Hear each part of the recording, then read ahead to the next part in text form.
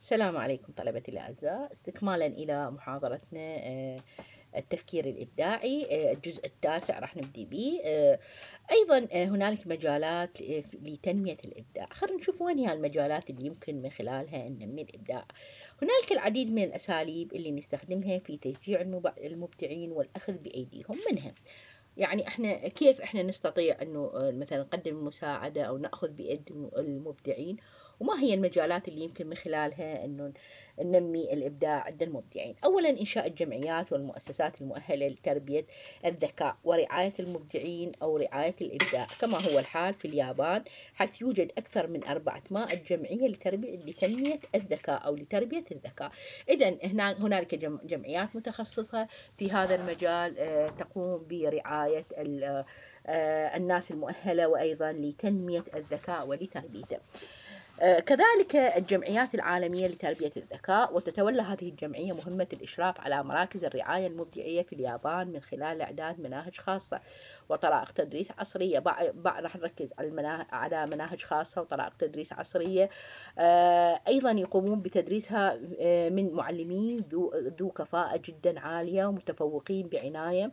متف... يعني آه، متقنين عمليات التعليم والتدريس الطرق الحديثة بعناية جدا عالية ثم يجري تدريبهم في معهد خاص تابع للجمعية الملكية لتنفيذ هذه المهمة وتحقيق هذه الغاية وفق معايير صارمة. إذا هذه الجمعيات أولا اثنين أسلوب المباريات العلمية. هذا الأسلوب آه، يتم تحديد موضوعات البحث أو العمل وتطرح كمسابقة يخص لها جوائز آه، آه، يعني جوائز كنوع من التحفيز المادي أو المعنوي. تقدم لأفضل الاختراعات أو البحوث اللي شارك في المسابقات. وأيضا نستخدم هذا استخدم هذا الأسلوب في ألمانيا على نطاق واسع كذلك في روسيا. وأيضا يوجد ما يسمى بالأولمبيات آه، يعني العالمية لتنمية الإبداع والذكاء أو للمباراة العلمية في مثلا كثير ما نسمع هنالك مثلا خلينا نقول مسابقة في أفضل بحث أو مسابقة لأفضل اختراع قدم هذا العام وهكذا. إذا هذه الهيئات آه آه، وهذه الهيئات والمسابقات واللي يشرف عليها تنظيمات لجنة من وزارتي التربية والتعليم العالي ومؤسسات شعبية أخرى. تطرح هذه الأولمبيات مجموعة من المشكلات المتدرجة التي يطلب حل آه، التي يتطلب حلها خبرات واسعة وفكر مستنير. طبعا هاي شو وقت يستخدموها من تكون أكو مشكلة وتحتاج إلى بحث علمي دقيق يقومون بهكذا مبادرات علمية ومسابقات. المجال الآخر أو النوع الآخر هو آه، إقامة معارض يعرض فيها المبدعون أعمالهم ومخترعاتهم كلها هذه في مجالات آه، تنمية الإبداع. يعني كيف أني أنمي الإبداع عند الشخصيات المبدعة.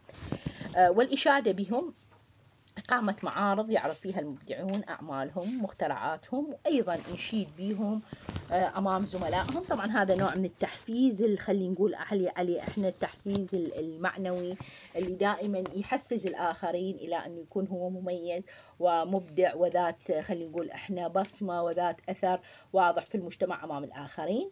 هذا أيضا إلى دور. كذلك تأسيس نوادي علمية خاصة آه، بالمبدعين. يقضون فيها أوقات فراغهم ويمارسون يمارسون يعني أوقات فراغهم هواياتهم يعني كثير من الهوايات اللي هي تكون محببة لهم. وهذه البرامج تكون تحت إشراف أخصائيين في رعاية الإبداع. أيضا إذا يعني العالم بأسرة يأكد على آه، تنمية واحتضان المبدعين والإبداع في كل آه، في كل المجالات على مستوى العالم بأسرة. أيضا فقرة أخرى إشراك التلاميذ المبدعين في مجموعة من الأنشطة والفعاليات. ذات المستوى الرفيع وتتسم بالعمق والاتساع والتنوع.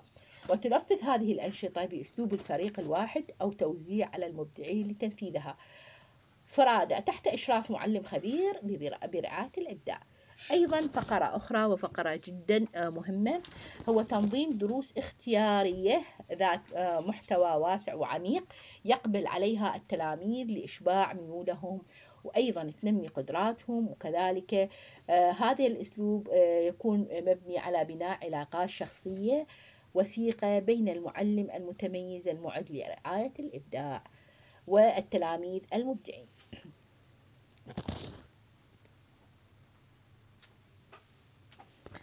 الفقرة الأخرى أسلوب البرامج الإثرائية. يهدف هذا الأسلوب إلى ترغيب التلاميذ المبدعين آه، بمدرستهم من أجل أن آه، أن تقدم لهم موضوعات تكون موضوعات ذات عمق وشمولية وأيضا يستطيع من خلالها الحصول في يعني يستطيعون الحصول عليها حتى حتى عفوا حتى في الصفوف العادية ويراعون بها أن تكون هذه الموضوعات متممة ورافدة لمحتوى المادة الدراسية.